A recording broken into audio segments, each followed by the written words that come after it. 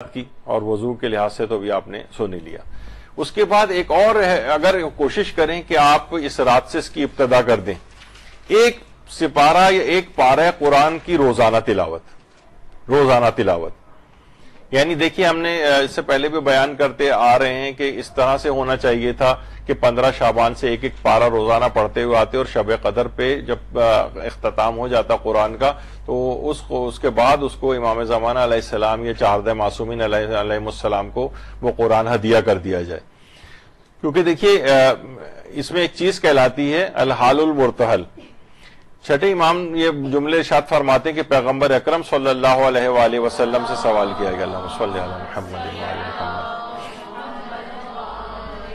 कि या रसूलुल्लाह, कौन सा शख्स सबसे ज़्यादा बेहतर है? आपने फरमाया, अलहालुल सवाल किया कि या रसूलुल्लाह, इससे क्या मुराद है? आपने फरमाया, ऐसे, ऐसा कुरान को शुरू करने वाला शख्स जो उस कुरान को अख्ताम तक पहुंचाता है, जिसको शुरू किया होता है और खत्म करने के बाद कुरान का फिर वहीं से आगाज़ कर देता है। बस ऐसे शख्स के लिए अल्लाह के नज़दीक कबूल की जाने वाली एक दुआ है। पहले से आज की रात कोई बहुत ज़िंदगी की इंपॉर्टेंट तरीन आनी आप सारी की लिस्ट अगर बनाएँ कि ये ये वाली एक दुआ टॉप ऑफ़ द लिस्ट है, वो अगर आपने आज की रात कुरान का अख्ताम करें।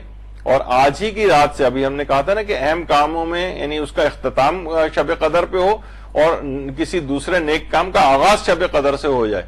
तो तिलावत कुरान को खत्म करें और चंद सफाती क्यों ना सही अगले कुरान को आज से स्टार्ट कर दें।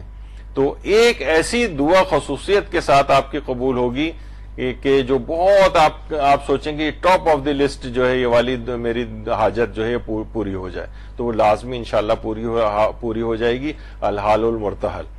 तो बहरहाल ये जो है इसमें वो भी बात हो गई कि यानी आपने एक नेक काम का अख्ताम शब कदर पे किया है और एक नए नेक काम का आगाज़ किया है, यानी कुरान को बिल्कुल नए सिरे से आपने शुरू कर दिया है कि अब आइंदा रोज़ाना कम से कम मैं एक पारा पढ़ूँगी या किसी की इतनी हिम्मत नहीं है तो एक पाव भर पारा, यानी 25 परसेंट पारा रोज़ाना कुछ रुकू उसके पढ़ना। कोई अपना खास अलाह अमल करार दे लें और अगर एक पारा रोज़ाना हो जाए और एक साल तक हो जाए तो अगली शब कदर जब आएगी तो आप अपनी यहीं पे इनशाला हम सब लोग दोबारा अगर ज़िंदगी रही तो बैठे होंगे। तो आप अपनी कैफियत को देखिएगा कि कितनी ज़्यादा मेरे अंदर एक इनकलाबी जब शब कदर की बरकत से ज़िंदगी में इनकलाब लाना है ना तो इसके अंदर एक पारा रोज़ाना जो है वो तिलावत इस अंदाज से करना है।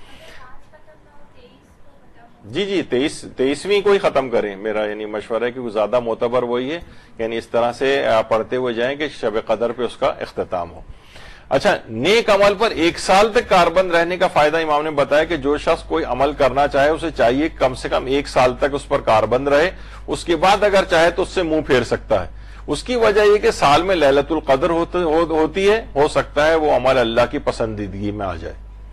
तो बहरहाल ये तमाम चीज़ें ऐसी हैं कि ऐसे इनका आगाज़ भी करें, नेक अमाल का और अंजाम भी, यानी अख्ताम तक भी पहुंचाएँ।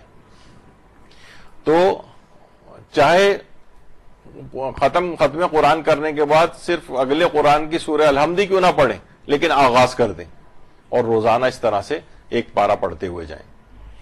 इसी तरह